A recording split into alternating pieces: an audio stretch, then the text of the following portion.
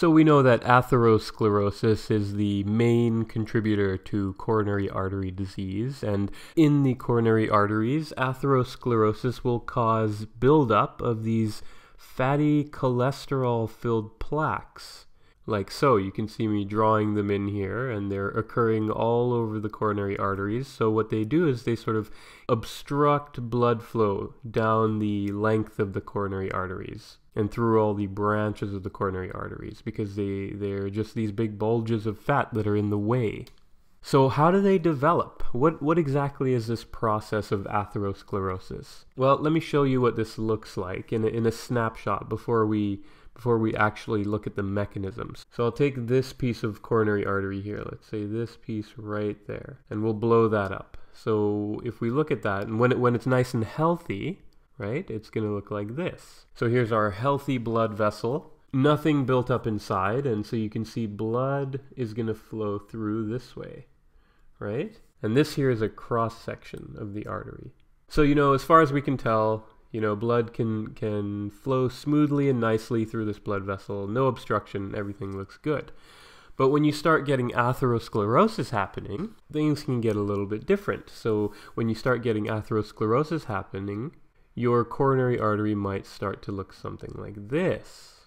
And so immediately, I mean, we can see that there's a pretty big difference between the first vessel here the nice clean one, and the second vessel here, the atherosclerotic um, sort of fatty plaque vessel here. All this yellow stuff is some gross fatty plaque that's been deposited into the vessel wall. And, and if we look at the cross section here, we can see that it's really doing a number on the amount of blood that's able to flow through this vessel, right?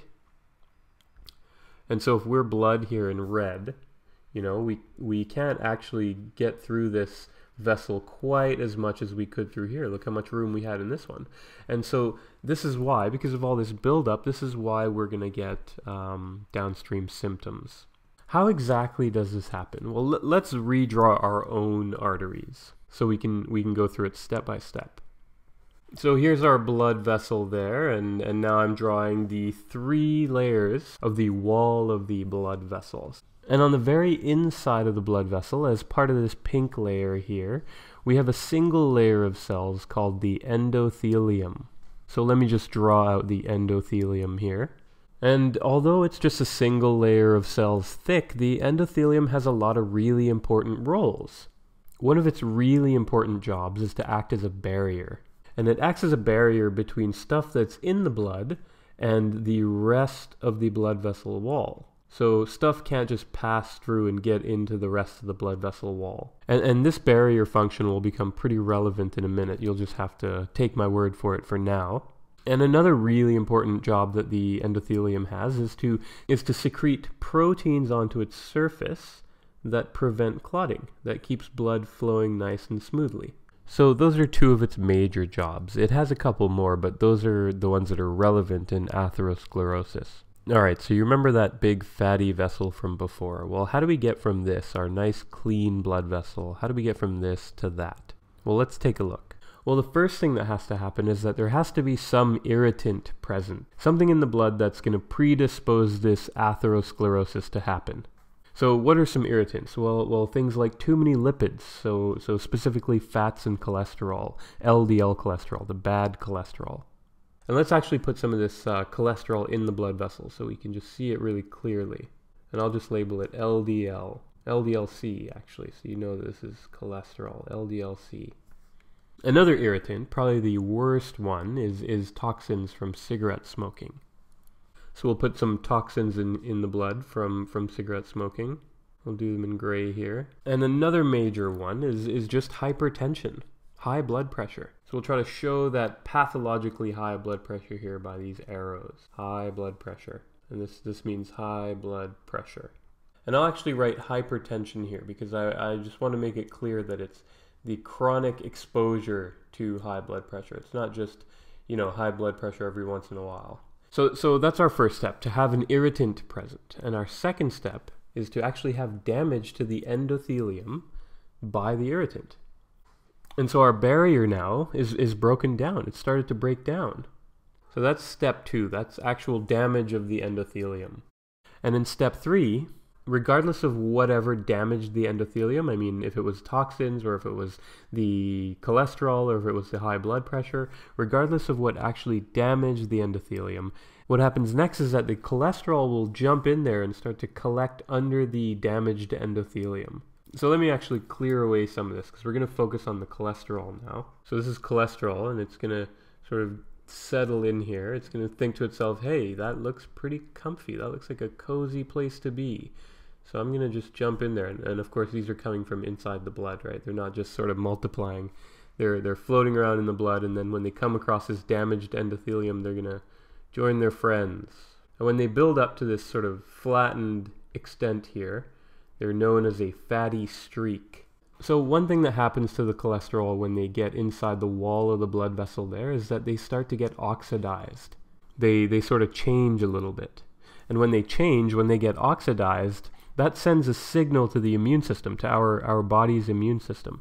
And that signal will bring around these cells of the immune system called monocytes. So they'll sort of show up almost like police. So here's a monocyte here, and I'll draw it in white to remind you that it's a white blood cell. And this monocyte doesn't really like that the cholesterol is starting to collect in the blood vessel walls. So the monocyte will actually chase in after the cholesterol to try to break up the little party that they're having. And so I'll actually draw what happens next down, uh, down in this next bit of the blood vessel down here. Just so we can keep in mind all of the past events. So you may have noticed that I drew this white blood cell to look like a, a Pac-Man sort of thing, eating up this cholesterol, because that's essentially what it does. Once it gets into the endothelium, it converts into something called a macrophage. Macro meaning big and phage meaning to eat. So it's really this big eater that, that I mean, its job here is to devour that, that LDL cholesterol that's collected in the, in the endothelium. Unfortunately, things don't go as planned for our macrophage because what ends up happening is it starts to gorge itself. The macrophage eats so much cholesterol that it just sort of becomes too full of these yellow cholesterol drops and, and it sort of dies off. But it's full of cholesterol, and and someone uh, a long time ago looked down a microscope and thought that these dead macrophages filled with cholesterol looked like foam, like sea foam that you see at the beach. So these dead macrophages filled with cholesterol are now called foam cells. So let's catch our list up. And remember, these foam cells were actually white blood cells. So when they die, they release these signals that, that sort of call in reinforcements. And I'm going to use that to remind you that atherosclerosis is primarily an inflammatory disease. It's an inflammatory condition. And so when these foam cells release their, their cytokines, their signals, they call in reinforcements, and the whole process sort of proceeds in this vicious cycle, as you'll see. And don't forget that LDL is also still being deposited into the wall from the bloodstream. And as part of this inflammation, more and more endothelial cells get damaged. So I'll move our drawing down even further so we can look at the next sort of development. And so you can see this this mountain of cholesterol and, and foam cells, dead macrophages that are that are filled with cholesterol. You can see this mountain just keep on building and keep on building and, and bulging out into the middle of the blood vessel.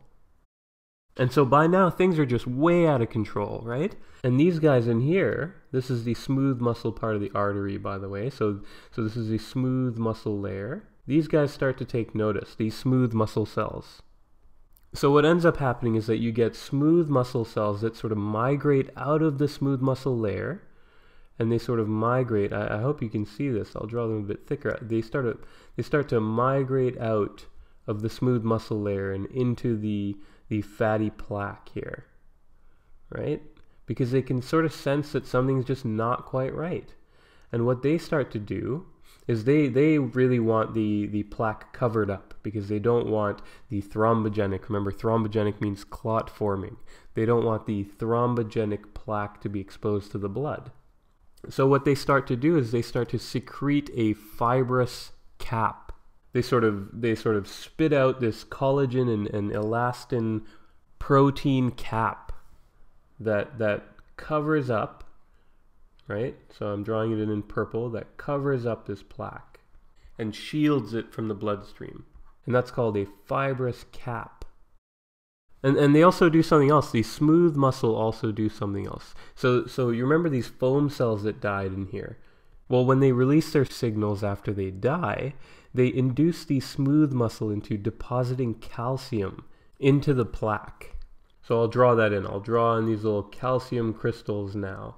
So you can see it's just starting to look like a mess in here. There's just all sorts of stuff going on. So again, this is really not something you want to have happening in your body. And so just by looking at this, what can we say is happening to the blood vessel? Well, I mean, we can see this huge bulge. We can see that the, the, the plaque is obviously bulging into the blood vessel, and it's probably going to restrict the, the flow of blood that can get through here. So that's one thing that atherosclerosis is doing. It, it's occluding, it's blocking off the arteries. The second thing is, well, look at this calcium. I mean, if there's one thing we know about calcium, and is that it's really tough, it's really hard. And so this is this by the smooth muscle laying down calcium. That's one of the ways that atherosclerosis makes your arteries really hard, and that's actually part of the name. Atherosclerosis actually means hardening of your arteries. But I think in terms of coronary artery disease, the biggest reason that atherosclerosis is bad is because it can cause complete blockage of the artery. And that blockage of the artery can happen because sometimes this plaque, this, this fatty plaque, it can rupture. And when it ruptures, all this thrombogenic plaque material gets exposed to the blood. And when it gets exposed to the blood, it starts to form this really big blood clot in the middle of your artery, in the middle of one of your coronary arteries. So let's just draw that in here. Let's just draw this big blood clot. Pretend that uh, this has been ruptured and this, this yellow thrombogenic material has been exposed and this big blood clot's going to form. By the way, I'm, I'm originally from Jamaica and blood clot is a bad word in Jamaica, so I apologize to any of my Jamaicans who are watching this. So this big clot could form and it could totally block off the blood vessel. And when that happens, no blood can get through, right? So this is really the biggest reason that we don't want atherosclerosis to be happening in our coronary arteries because you can see that we've blocked off the blood flow and if blood isn't allowed to get past this clot and get to the to the piece of the heart that it's supposed to be serving within about 20 minutes, then you get irreversible damage and death of that piece of heart muscle. So for example, what we drew was this little piece of artery here, right? In, in blue. So if a, if a atherosclerotic plaque and a clot developed right there, as it has in our vessel here, then that would be really, really, really bad because, you know, all the blood for this whole part of the heart is coming from this upstream vessel. So without getting blood flow through this vessel for about 20 minutes, if this if this clot sort of persists for uh, about 20 minutes, all of this heart muscle would start to die off. So that would be a massive heart attack. And actually, let me just clarify. So we say heart attack, but in medicine we refer to a heart attack as a myocardial infarct or an MI. So myocardial just refers to heart muscle, cardia for heart, and myo for muscle. So heart muscle. An infarct means death of tissue due to lack of oxygen from lack of blood. So a myocardial infarct is, is death of heart muscle due to lack of oxygen. So here we've had a myocardial infarct due to this big plaque that developed here.